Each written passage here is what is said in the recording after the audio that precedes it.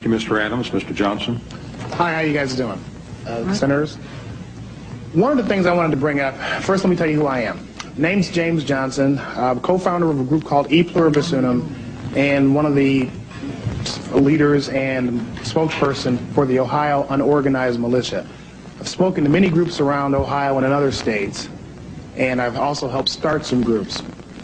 Now, what I wanted to touch on was what Mr. Thompson said. I think he focused on a key point, which was why these groups are forming. Why is it growing like it is? And that's some of the topics that need to be addressed. And I think maybe you can talk to some people on the inside like you have here to answer those questions. To put it to you bluntly, some of the legislation that's being coming out of Washington, some of the executive actions that are taking place, ladies and gentlemen, these things started a revolution 200 years ago and got this country started. And the people are seeing this. The national news media and the actions of this government is some of the best recruitment we could have. We don't have to say much. All you have to do is talk to the, act, to the average person out there to tell you, how do you feel about your government? And the people you look at here, we're the calm ones. We're the ones that calm people down. Now, I'm speaking here as a representative for my state and other groups that I know of. The animosity that I see out there between the citizens, all of them, and the government is frightening. What they did was after listening to all these all these abuses and government atrocities that you're going to hear here tonight, today, and they saw that they were going to no avail, they decided to see what they could do to become part of the solution. They looked into the law and under Title 10 USC 311 saw a phenomenon known as the unorganized militia that consists of all people, even the people taking these pictures right here, everyone. And they began to form themselves in units for their own self-defense and their self-preservation. Now, the way we stand now, and it's good that we're getting these views aired out, because 200 years ago, the British didn't get the hint until they saw dead redcoats out there. But this time, maybe we, maybe we can get this out in the open and have things resolved. Because I feel, and it's concerning to me, and I'm being sincerely honest, that with the increasing polarization between the tax-paying public out here and what goes on, not only in here, but certain state governments, that the only thing standing between some of the current legislation being contemplated and armed conflict is time. It's one of the reasons I got in this movement to help prevent that. Now you can see from the last two years of sales from the firearms producers in this country, this nation is probably one of the most heavily armed forces on earth. And I have heard more and more people say, if one of these black-suited, armor-wearing, state-sponsored terrorists come kicking down my door, I'm going to blow somebody away. They don't call themselves militia. They don't even call themselves patriots. They call themselves American citizens who are getting tired of confiscatory tax rates, increasingly legislation, increasingly heavy regulations, which is they believe are leading them down a path to involuntary servitude. And one of the slogans that's been going around, especially in Ohio, is what I've been telling people for those who think that this is just primarily an angry white male movement, is that if our ancestors would have been armed, they would not have been slaves. That's why people are beginning armed. Not so much with firepower. That's not the thing that makes it dangerous. What makes it dangerous that they're being armed with knowledge. What you're going to see is a growing number of citizens, and you're seeing that now, that's why we're here, move away from the authority that is here around, around the, in the Beltway and begin to create their own constitutional authority. You're going to begin to see this in the resurgence of the common law courts. You're going to begin to receive this, and I'm going to summarize here, in the formation of the militias. That's what came first to defend ourselves.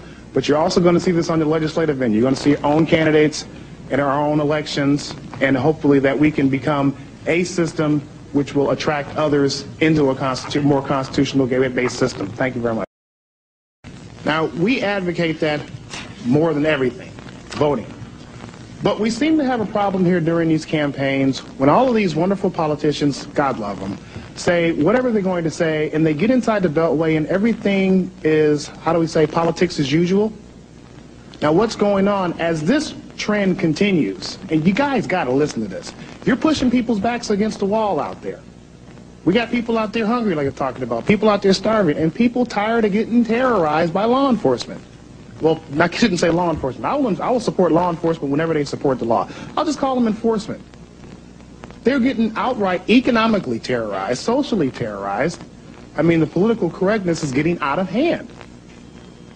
That is why these people are, what they're doing, what this militia is now, it's a mindset. It's the civil rights movement of the 90s. It's people sitting there with don't tread on me stamped across their forehead. There's people drawing a line in their sand. That's what it is. Nobody's going to go out there and uh, shoot things. Nobody's going to go out there and blow up things. We're not, we're not baby killers. We're baby boomers. We're not terrorists. We're taxpayers. We're not extremists. We're just extremely ticked off at the way the government is deviating away from what's going on around here. And when I say we, as this militia, as this little covert group out there, no, it's everybody. Now, just because you call you, just because you say we're going to form ourselves a militia, it doesn't make you the militia. What we stand here, what we stand for here is the constitution.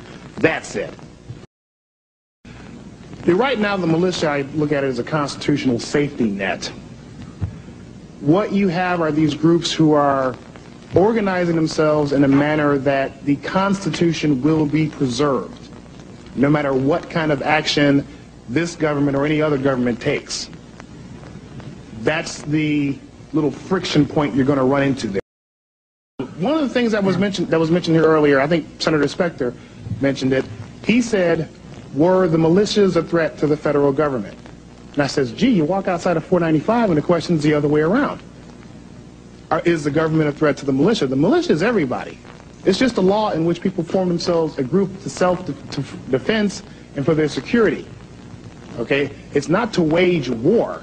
But if a war is waged, these groups plan on winning. And let me tell you something else. It's, speaking of this, you're saying should this be looked into? It's a mindset.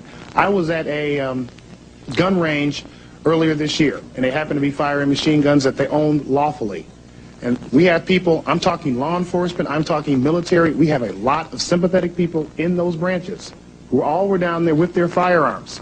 And with the awesome display of firepower that I saw down there, and that was just one iota of it. Okay? I say this sincerely. I don't mean to direct this at anybody here.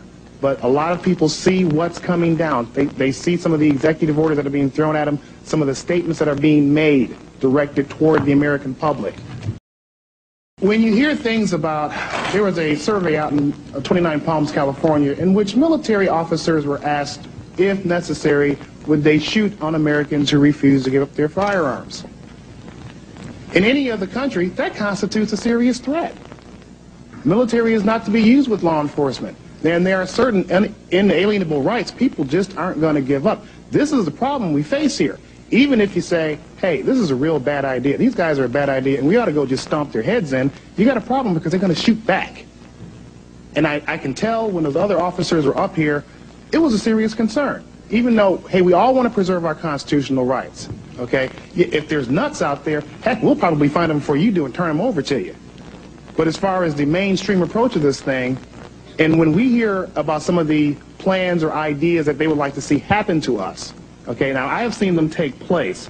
Um, I am, for instance, I'm talking about Brunswick, Ohio. We had one gentleman who knocked, got his door knocked on. He said, no, go back and get a warrant. It's under the Constitution. Get a warrant, get probable cause.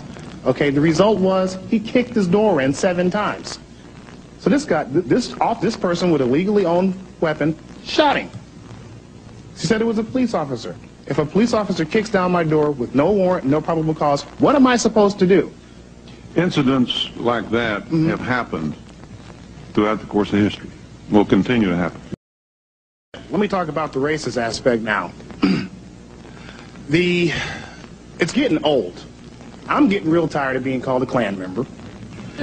I'm getting tired of being called a member of the Aryan Nations group. I spoke two weeks ago down to Lincoln Memorial along with two other black people and the Jews for the Preservation of Firearms, and I believe there was somebody else Jewish who helped organize it.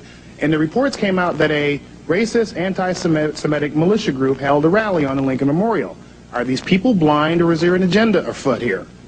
Okay? There are more black people showing up every day. A lot of the things that these people sit around in these meetings, these so-called right-wing wackos, and talk about, happen daily in black communities. And black communities know this. The first people concerned seriously about neighborhood house-to-house searches and seizures were over in Chicago. They were black. Good grief, almost half the people in Waco who got killed were black. This movement isn't about guns and skin color. It's about liberty. It's about freedom. Amen. The same kind of the same kind of legislation we're seeing coming down on everybody now came down on blacks just after the Civil War. That's why they're getting involved in this thing, and it's going to come eventually to somebody. uh, You know, as you keep ignoring us and saying, "Well, these guys are just a bunch of angry white men." Well, Pardon me, pardon me for interrupting, but they have started the vote now, so we're going to have to conclude it in just a few minutes. Okay.